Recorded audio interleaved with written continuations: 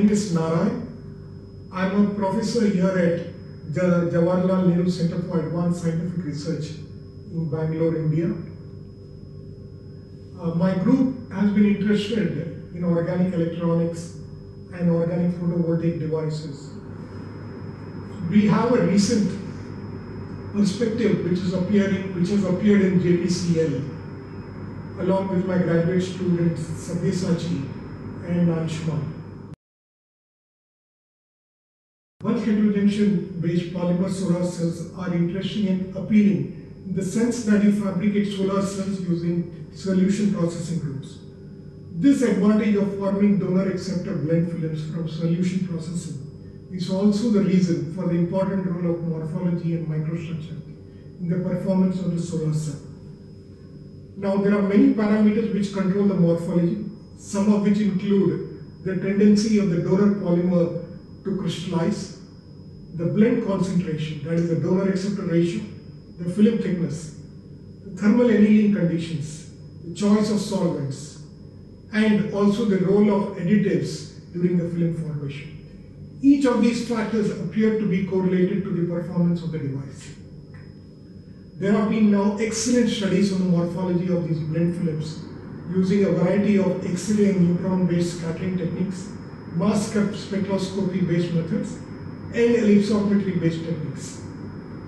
Even though these techniques have provided insight into the bulk morphology, their analysis and their interpretation as far as the device performance is concerned is largely based on statistical correlations. The microscopy techniques, on the other hand, can provide local information to get a more overall complete picture of the device. Now, conventional optical techniques like confocal microscopy do not offer the high spatial resolution and hence cannot be utilized to probe the morphology at such small length scales. Atomic force microscopy techniques have also been used to study the phase separation by utilizing the phase contrast, photoconductive and Kelvin modes of operation. Images obtained by these techniques provide a map of the local heterogeneity of the bulk and have been utilized in arriving at optimum morphologies for better performance. However, the AFM based techniques are largely surface restricted and does not uh, provide bulk information. Additionally, the conductive, in the conductive AFM modes, the tip which acts as an electrode are not ideal electrodes and hence can introduce significant electric field gradients, especially in, under illumination. And the interpretation of these images can be quite complex. So it would be really nice to have a high resolution microscopy done on real devices with real electrodes. The problem is how do you approach the electrode? How do you circumvent the electrode? So in this regard, we in our lab have been working on this problem for the last couple of years and we have realized that there is an ample presence of finite photocurrent in the periphery of the device, outside the electrode region. So if one locally illuminates the region outside the electrode, one can still get appreciable photocurrent which can be utilized to scan and image a particular region. So the presence of photocurrent in this region offers a sizable scanning area and the access to the active layer for the cantilever tip from the top without an intervening electrode per permits scanning in the near field region. The entire microscopy methods can be now centered around this region to arrive at a comprehensive morphology description at multiple length scales. We call this approach PISA, that is photocurrent scanning of asymmetric electrodes, which is essentially a combination of AFM combined with transmission near field scanning optical microscopy and near field photocurrent microscopy. Now additionally, the color of the photo excitation source can also be changed. Hence different sections of the polymer film can be followed. We believe that the state of art high resolution imaging is possible with this variety of this different combination. Hello, I'm Anshuman, graduate student and Professor K.S. Narayan sir. I work on uh, light harvesting in organic solar cells and photocurrent imaging. The PISA E essentially is a combination of atomic force microscopy, near field photocurrent microscopy, and near field optical microscopy. The atomic force microscopy essentially gives information uh, about the surface, surface morphology. Uh, the near field photocurrent microscopy gives information about the interconnectivity of the domains, and the near field optical microscopy gives essentially a 3D information about the organization of the domains in the bulk heterojunction.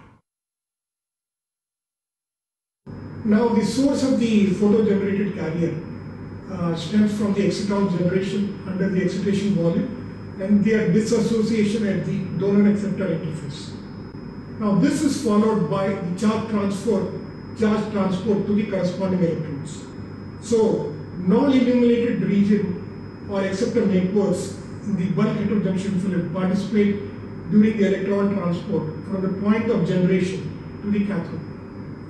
Hence, the near field photocurrent contrast method represents not only the active photocarrier generation region, but also provides information on the acceptor network which constitute the current pathways.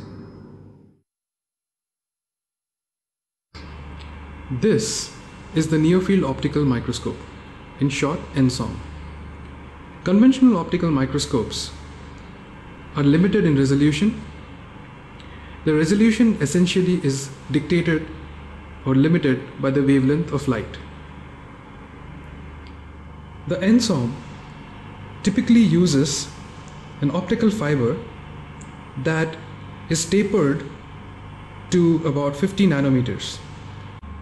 The resolution of the NSOM is essentially dictated by the tip diameter of the fiber. This is a typical solar cell with asymmetric electrodes. The solar cell is placed on the sample holder.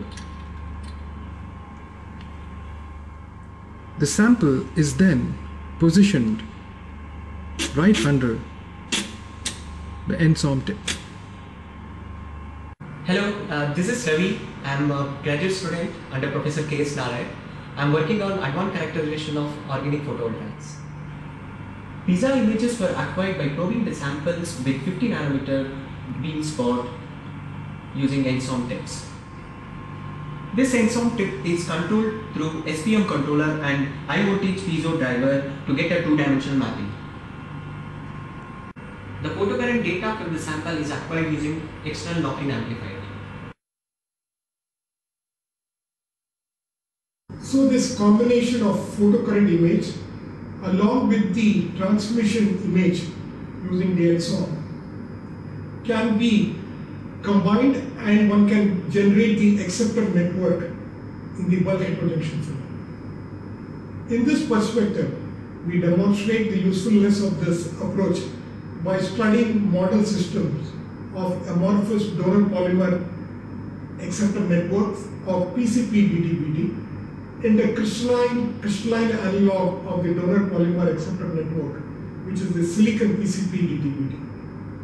We have studied these devices as a function of thermal treatment and solvent effects. It is to be noted that the resolution limits of these photocurrent image in the transmission NSOM images are in the range of 30 to 50 nanometer range. So we have deliberately chosen a non-optimum ratio of donor acceptor to bring out the contrast and follow the trends. Following the image acquisition, we have used the tools to quantify the images, which is quite useful in rationalizing the trends.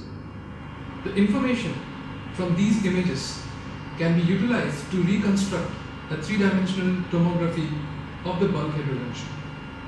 Now this method should be widely applicable to a, a various combination of donor acceptor based devices and devices with hybrid components.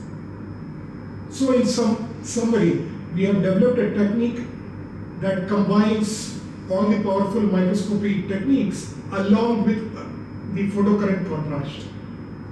And this should really bring out the microstructural aspects of bulk heterojunction polymer solar cells and should be widely informative and provide deeper insight.